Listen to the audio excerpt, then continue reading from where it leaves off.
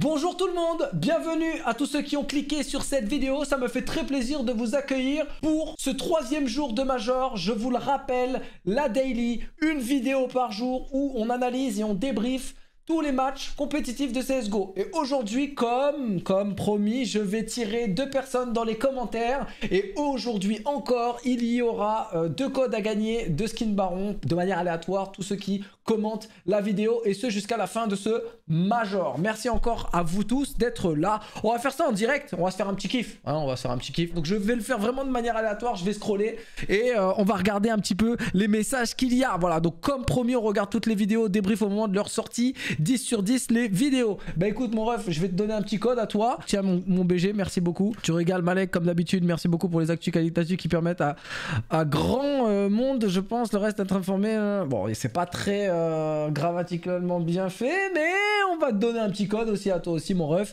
GG à toi. Voilà les amis, j'espère que ce tirage vous a fait plaisir. Encore une fois, rendez-vous dans la description. Vous avez mes liens pour me soutenir, que ce soit pour mon site internet malexcsgo.fr ou le lien Skin Baron, vous pouvez acheter et vendre vos skins CSGO. On attaque donc le débrief de ce Major. Petit rappel encore une fois, tous les jours je publie les pronos, que ce soit sur Twitter, Instagram ou Discord. Choisissez la plateforme qui vous convient, en tout cas ceux que ça intéresse d'avoir des pronos. Aujourd'hui on commence avec Virtus Pro Spirit, rencontre fratricide qui a été remportée par Virtus Pro. Attention, c'est extrêmement tendu, Spirit était ultra fucking chaud. Euh, et donc Virtus Pro est qualifié pour la phase de Legend Stage. Oui, Virtus Pro, ça y est, ils assument un petit peu, ils sont, ils ont fait le changement qu'il fallait, hein, on va dire ça comme ça. En tout cas, en kickant Sandy juste avant le Major, je trouvais ça un peu dégueulasse de leur part. Je trouve toujours ça dégueulasse de leur part, mais il faut avouer quand même que Fleet fait son taf, il est très bon individuellement et l'équipe, en tout cas, a beaucoup plus de firepower qu'avant. Euh, et je trouve en tout cas qu'ils font des phases de jeu plus explosives. Je dis pas plus rapides, plus dynamiques, mais en tout cas plus explosive. Euh, ce, que ne le, ce que Sandy ne leur permettait pas de faire parce que Sandy était vraiment un électron libre, euh, esselé, leur cœur, euh, euh, il jouait vraiment tout seul. Et là pour le coup, donc on a 16 à 7 sur la première carte. Ensuite, c'est Spirit qui remporte la deuxième carte 16-12. Et dernière carte, overtime les amis, 19 à 15, c'était chaud de ouf. Des grosses individualités pour Spirit.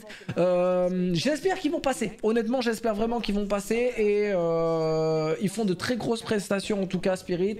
Grosse profondeur de map, ils ont vraiment bossé, que ce soit sur ancien. Franchement, ils m'ont vraiment surpris, moi, sur ancien, pour le coup. Et sur Overpass, il y avait vraiment quelque chose, même si Virtus Pro l'emporte. Deuxième match, Movistar, Tailou. Euh, match éliminatoire, c'était les matchs de 1, euh, une victoire et deux défaites. Et c'est Movistar qui l'emporte. Euh, donc là, encore une fois, mon prono est passé. J'avais mis Movistar une map, il y avait une bonne cote là-dessus, pour le coup. Et donc, Tailou éliminé, éliminé. Je ne sais pas quoi dire sur Tailou, les amis. Donc ça s'est fini en BO3, hein. le match a été remporté 2 à 1 de la part de Movistar, donc 16-14 première carte, c'était extrêmement tendu sur Inferno. Je pense que là ils vont s'en vouloir Tailou parce que historiquement ils sont vraiment bons que sur Inferno, euh, je trouve moi en tout cas. Et euh, ils ont laissé filer leur chance, ils ont remporté Mirage derrière, je trouve Movistar extrêmement mauvais sur Mirage. Rappelez-vous le tour précédent, en BO1 ils ont joué contre Anthropic, ils se sont fait terrasser aussi sur, euh, aussi sur Mirage. Sur Mirage je les trouve très mauvais moi Movistar et je comprends pas pourquoi ils continuent de jouer cette carte. C'est un peu comme les anomalies qu'il y a avec Vitality quand euh, ça pique du Inferno et tout, je les trouve extrêmement fragiles dessus. Et ben pour le coup, Movistar, Mirage, faut qu'ils arrêtent. Voilà, faut vraiment qu'ils arrêtent. Dernière carte, Vertigo remporté 19-16, euh, extrêmement chaud. Et donc Tailou se fait éliminer. Mais attention, même si ce match était serré, ça reste pas un. C'est un concurrent. Euh, voilà, c'est Movistar. C'est censé être en dessous de Tailou. Je sais pas ce que devient Tailou, les gars. Je pense que l'ère, en tout cas asiatique, est totalement terminée depuis plusieurs années. Hein, maintenant, faut pas, faut pas, faut pas non plus voiler la face. Mais clairement, euh, un peu triste dans le sens où Tailou qui se qualifierait au, au, Legend Stage, ça apporterait pas mal de euh, visibilité sur le continent asiatique. Il y aurait, euh, encore une fois, rappelez-vous des mêmes hein, dans les précédents majors, rappelez-vous des mêmes, China number one, etc. c'était un petit peu de la moquerie, mais c'était un petit peu aussi du soutien. Je pense que même nous, Européens, on avait quand même beaucoup de sympathie, beaucoup d'amour euh, pour, euh, pour Tailou. Et, et, là, pour le coup, on les voit un peu dégringoler. Je trouve que ça fait un peu mal. Voilà, je, je trouve que ça fait un peu mal. On enchaîne avec Big contre Hens. Là aussi, mon prono passe, euh, les frérots. Hein, Malek prono, tu connais. Donc, 2 à 1 côté Hens. Super performance de la part de Hens. Et Hens se qualifie pour le Legend Stage, je vous le rappelle. Et donc, Big se retrouve en 2-2. Très très chaud, Big. Prétendu, pas, mal de, pas mal de fragilité. c'est plus les Big de, de, du Covid Internet où ils ont terrassé tout le monde. On sent vraiment qu'ils ont pas mal de difficultés. Ils sont rides aussi, ils ont du mal à, renouveler leur jeu. Le changement avec Zantares et l'avenue de Gade. Euh, bon, Gade est un très bon joueur, mais c'est voilà. Là, on voit que euh, ça manque de quelque chose. Donc, ils remportent des deux plutôt facilement, 16-10, et derrière, ils se font, ils se font déboîter sur les deux dernières cartes, Mirage et Nuke, qui sont des maps quand même assez techniques, et où justement le jeu un petit peu à la finlandaise même si, même si Hens, il y a un seul Finlandais, l'identité de Hens reste finlandaise dans le sens où au niveau de, du Mapool, ça joue du Nuck, ça joue du Mirage, ça joue du D2. C'est toujours les maps qui ont été très fortes pour la structure finlandaise.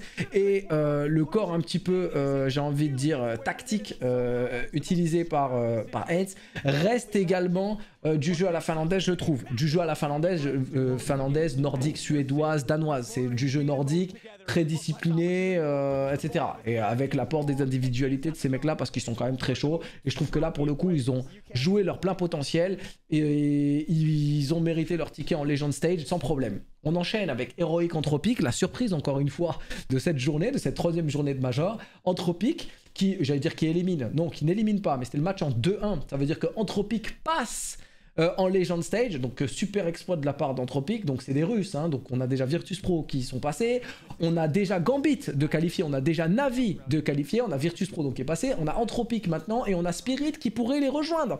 Ça veut dire qu'on sent quand même hein, euh, l'ère des pays CIS exploser. Et, ils méritent leur ticket parce qu'ils passent par le Challenger Stage, ne l'oublions pas. Et c'est héroïque, hein, une des meilleures équipes du monde, une top 3 des meilleures équipes du monde depuis euh, facilement deux ans maintenant. Et donc 16-10, match remporté première carte par héroïque sur ancien. Et ensuite, les deux cartes, 16-14, très très tendu sur Nuck. Je pense que là, ils vont avoir des regrets héroïques parce que c'est leur map quand même historique où ils sont les meilleurs. Et dernière carte, Mirage. Là, les Russes sont au-dessus. On le sait que la communauté russe, les communautés russophones, tous les pays CIS, vraiment sont très très bons sur cette carte. Et ils ont terrassé héroïque 16 à 4. Donc Anthropic passe, Héroïque euh, sont en 2-2, ça fait peur parce que Héroïque, je pense que dans les Pick'em Challenge, il y a pas mal de gens qui les ont mis en 3-0. Euh, moi j'avais mis FaZe en 3-0, mais j'avais dit qu'Héroïque était capable de faire un 3-0, même si bon, je les ai élevés au dernier moment, profondeur de map, etc. c'est solide. Et là, gros enjeu, grosse pression, et surtout en 2-2, il y a pas mal de Dark Horse pour Héroïque. Ils peuvent pas rejouer des équipes qu'ils ont jouées, bien évidemment. Donc, euh, à voir pour les prochains match-ups. On enchaîne avec Astralis contre Pain. Match encore une fois décisif. Je vous le rappelle, les deux équipes étaient en une victoire et deux défaites. Ça veut dire que celui qui perd est totalement éliminé. Grosse prestation de la part de Pain. Tout le tournoi, les Brésiliens ont été vraiment très très bons. Ils ont mis beaucoup d'énergie, mais malheureusement, ils s'effondrent 2 à 0. Euh, battu par les Danois, première carte 16-8 sur Nuke. On se le cache pas, Astralis c'est une grosse équipe sur Nuke et surtout ils reviennent très très bons euh, Astralis. Hein. Deux faux pas et derrière euh, les deux équipes qui sortent sont des Brésiliens donc Godsend et Pain. Attention, les Brésiliens les fans à mon avis ils ont la haine, je vous le dis. Deuxième carte, attention, c'est extrêmement tendu. 19 à 16, je pense que Pain vont s'en vouloir énormément. Ils avaient clairement la maîtrise, je trouve. Ils avaient même le leadership sur euh, la carte. Mais pression, match en jeu, le major, un peu tous les éléments qu'ils peuvent pas forcément contrôler. Astralis, joueur de légende, équipe de légende, survie encore une fois, 2 à 2, match décisif demain. Je le rappelle, Moose contre Renegades, dernier match de cette journée qui a été remporté par Moose. Il faut savoir qu'au prono, aujourd'hui les gars, j'ai donné euh, un 6 sur 7, encore une fois. Donc euh, s'il y en a qui veulent venir sur les réseaux, venez, on vous donne de la moula, c'est cadeau. 2 à 1, Renegades, bon, pas le, même, euh, pas le même calibre. Encore une fois, on a Renegades qui bat Moose sur Mirage 16-14. C'est bien la seule map où Renegades sont très très bons, ou les Australiens en tout cas historiquement sont quand même assez forts. Derrière, ils se font balayer sur les deux cartes 16-10, 16-8, 16-10, 16-6, pardon, sur Inferno et Vertigo. Que Vertigo, c'est moche à regarder, les gars. Enfin, je, je, je sais pas, vous, euh, je prends un peu votre, votre température à vous, là. Comment vous la ressentez, cette map? Là, encore une fois, euh, j'ai regardé justement la dernière carte, ça finit sur un V1 de, de, de. Et pour le coup, euh, j'ai du mal avec Vertigo. Il y a cette routine. Je sais pas, c'est la map qui me plaît pas, c'est tout le temps la même chose. C'est la bataille du stuff sur euh, la rampe en A en fait, en défense. C'est un peu comme sur Inferno la banane à une certaine époque où euh, c'était tout le temps les mêmes phases de jeu, tout le temps les mêmes positionnements, tout le temps le même renouvellement de stuff. Je trouve ça tellement indigeste à regarder euh, que, je sais pas, je m'ennuie, ça, manque de, ça manque de saveur. Bref, Moose survit eux aussi parce que c'était un match en 1-2 et Renegades est totalement éliminé. Demain, dernière journée de ce Challenger Stage, donc tous les matchs sont décisifs, deux victoires, deux défaites pour toutes les confrontations que je vais vous citer et euh, petite règle euh, à garder en tête parce qu'on va réavoir ce format pour le Legend Stage avec l'arrivée de Navi, euh, Vitality, bien évidemment. Les équipes qui se sont jouées en 1 à 0, 2 à 0, etc. Ne, ne, peuvent pas se rejouer ensuite. Donc on a des match-ups totalement, encore une fois, inédits. Héroïque contre Movistar Rider en BO3, ça a l'air vraiment difficile pour les Espagnols, mais faut espérer. Faut espérer, on peut y croire. Big contre Moose Esport. Là encore, un match-up, je trouve, plutôt équilibré. Euh, enfin non, l'autre était déséquilibré, mais là je trouve que c'est un match-up justement plutôt équilibré. Euh, très fragile, nos amis de Big, franchement, euh, pas au rang qu'ils devraient avoir, je, pense. Par contre, Moose, ça survit, ça survit, ça, ça monte un petit peu en puissance. Et dernier match-up, Astralis contre Spirit. Euh, ne vous fiez pas à Spirit, les gars. C'est un gros Dark Horse pour Astralis. Spirit sont très très chauds. C'est du match-up que les Danois détestent jouer. On a deux écoles de Counter-Strike totalement différentes. Euh, de chaque côté, euh, les Danois, c'est la discipline, c'est la rigueur, c'est du jeu totalement académique et scolaire. On n'oublie pas, c'est un major, match en jeu, match qualificatif et donc également éliminatoire pour le phase du Legend Stage. Donc la pression va jouer un grand rôle. De l'autre côté, Spirit, Grosse individualité, on joue sur l'explosivité et les exploits individuels et l'agressivité également. Ce qu'Astralis déteste. Mais Astralis était vraiment une très très bonne équipe en contrôle map, notamment sur le side de défense.